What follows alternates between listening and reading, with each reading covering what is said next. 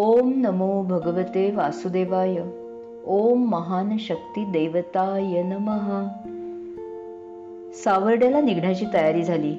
हातसडीच्या तांदळाचं गरम गरम खिमट तूप दही चटणी आणि कोकणातलं असली गोड खमंग पोहे याचा ब्रेकफास्ट झाला.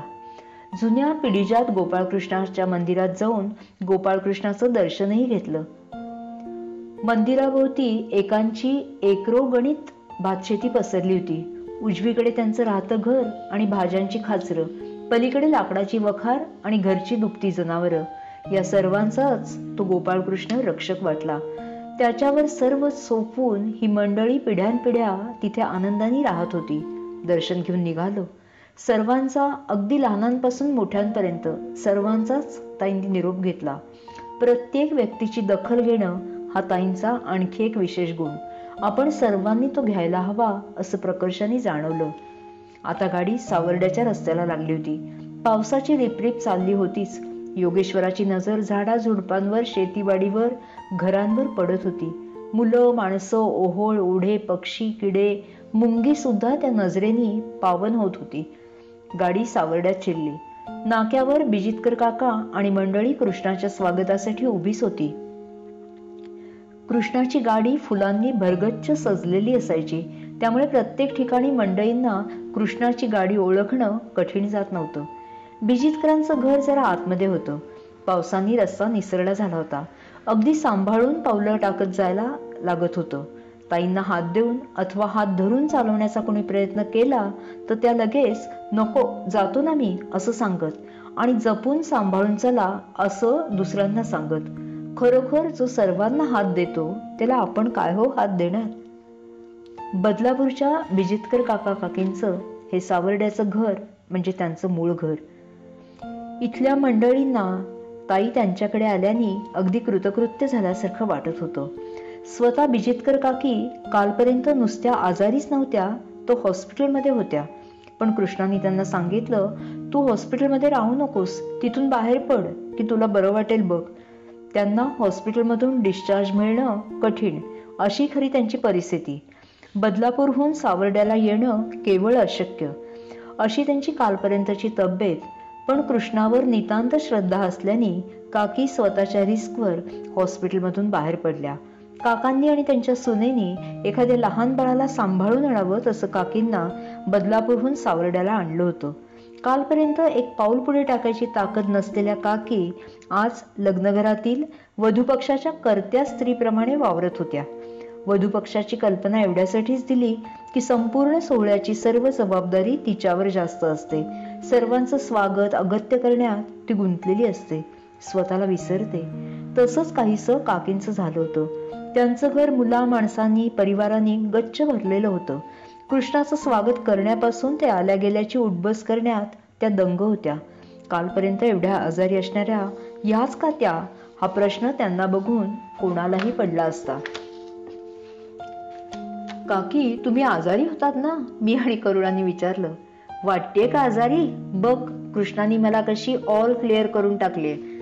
अगं त्यानं मला सांगितलं तुला काहीही झालेलं नाही. तू हॉस्पिटलमधून पहिली बाहेर पड. कालपर्यंत जगते का मरते अशी स्थिती होती. आज बघ या सर्वात मीच टुमटुमीत आहे. कृष्ण कृपा ग काकींची बोलण्याची पद्धत फार गमतीदार होती. आमच्याबरोबर ओकांचा मुलगा बिजितकरांकडे आला होता. परंतु संपूर्ण केंद्र होईपर्यंत त्याला तिथे थांबता येणं शक्य नव्हतं. कारण त्याचं कामही तसंच महत्वाचं आणि तातडीचं होतं. कृष्णही आपल्याला नेहमी सांगतो की कर्तव्यात मला पहा. आलेल्या पाहुण्याला चार घास जेवूनच पाठवायचं. ही रीत आम्ही शहरी लोक विसरत चाललो पण गावाकडे अजूनही हे संस्कार आहेत. कृष्णाच्या महाप्रसादाला पंचपक्वानांचं जेवण पण पाहुणा मात्र उपाशी जातो हे काकींना खटकत होतं. कारण केंद्र झाल्याशिवाय नैवेद्य दाखवता येत नव्हता आणि नैवेद्य दाखवल्याशिवाय पाहुण्याला काही देता येत नव्हतं. काकांनी कृष्णाला विचारलं कृष्णा यांना जरा घाई आहे एकांना. त्यांना तसं पाठवणंही पटत नाही. घरात पक्वान्न शिजलंय आणि भक्त तसाच जातोय. पण त्यांना जायला तर हवंच आहे. तातडीचं काम आहे ना. मग कसं करू? केंद्राच्या सुरुवातीलाच नैवेद्य दाखव. म्हणजे ज्यांना घाई आहे त्यांना प्रसादाचे चार घास देता येतील. भरल्या घरातून पाहुणा उपाशी जाणार असं नाही होणार. कृष्णाने असं उत्तर दिलं. काकींनी प्रसादाचं ताट तयार करून कृष्णाला नैवेद्य दाखवला. कृष्णाने तो स्वीकारला आणि एका भक्ताकडे बोट दाखवून याच्या तोंडून मम्म करतो. असं म्हटलं. काय आश्चर्य! ज्याला घाईनी जायचं होतं त्याच्याच तोंडून कृष्ण मम्म करणार होता. ही योजना करून कृष्णाने एकाच वेळी किती जणांची सोय केली. भक्ताला प्रसादाशिवाय जाऊ दिलं नाही. भरल्या घरातून पाहुणा उपाशी गेला नाही. काकींच्या गृहिणी धर्माला डाग लागला नाही. मनात आलं खरा सूत्रधार आहेस रे बाबा. महाप्रसाद झाला. आग्रह आतिथ्य आदर उत्साह सर्व काही ओसंडून वाहत होतो. केंद्र झालं. कृष्ण आला त्या निमित्ताने एवढी मंडळी जमली याच्या सर्व विजितकर कुटुंबियांना अप्रूप वाटत होतं. कृष्णाने सर्व कुटुंबियांना जवळ बसवून घेतलं. त्यांच्याशी बराच वेळ गोष्टी केल्या. खूप वेळ कृष्ण सहवास मिळाल्याने सर्व परिवाराला कृतकृत्य झाल्याचं समाधान त्यांच्या डोळ्यातून दिसून येत होतं. आता पुढचं केंद्र दुपारी साडेतीन वाजता व्हायचं होतं. तिथे जायला निघण्या अगोदर बिजितकर कुटुंबियांपैकी बऱ्याच जणांनी कृष्णाने आपल्या घरी पायदूळ झाडावी अशी इच्छा व्यक्त केली. कृष्णाने सर्वांच्या घरी येतो परंतु उंबरठ्यापर्यंतच येणार. पाद्यपूजा करायची नाही फक्त आरती उतरवा असं सांगितलं. तीन चार घरी कृष्णाने पायधूळ झाडली. सर्व मंडईंना कृष्णाने समाधानी केलं. हसतमुखाने आनंदाने सर्वांचा निरोप घेतला. आता दुपारच्या केंद्राचे वेध लागले होते. वेध लागले. आता दुपारच्या केंद्राचे वेध लागले होते. हे केंद्र ज्यांच्याकडे होणार होतं त्या बाई बदलापूरच्या इंदुताईंच्या नातेवाईक होत्या. हे गाव सुद्धा अतिशय आत कुठल्या कुठे एका टोकाला होतं. पत्ता विचारणं सुद्धा शक्य होत नव्हतं. कारण शहरात पावलोपावली माणसं आणि घरं दिसतात तशी परिस्थिती इथे नव्हती. दुतर्फा शेती एखाद्या गुरांचा राखंडात लांब लचक झुडपांच्या रांगा जायचं कोणत्या दिशेला आणि वळायचं कुठे ते समजायला पायवाटेचाही अभाव. अशा स्थितीत कृष्णावर भरोसा टाकत आम्ही जात होतो. कृष्ण सांगे त्याप्रमाणे आम्ही रस्ता शोधत होतो.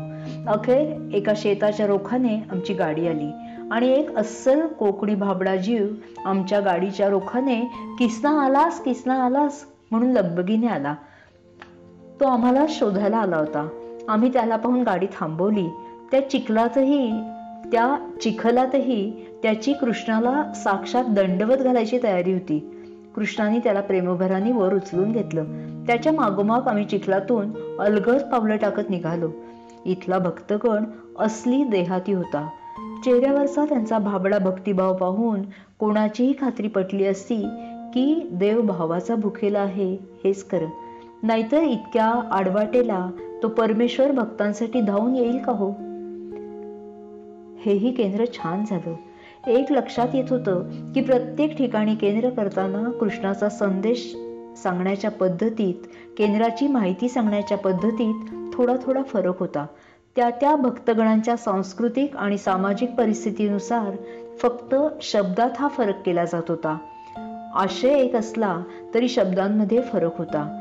ज्याला त्याला समजतील अशा पद्धतीचे ते शब्द होते. काळाप्रमाणे बदलायचं असं नव्हे तर परिस्थितीनुसारही कसं बदलावं हे प्रत्यक्ष कृष्ण दाखवून देत होता. इथलं केंद्र झालं. कृष्णाचे फोटो आणि ओम नमो भगवते वासुदेवायाच्या पट्ट्या अतिशय थोड्या प्रमाणात शिल्लक होत्या.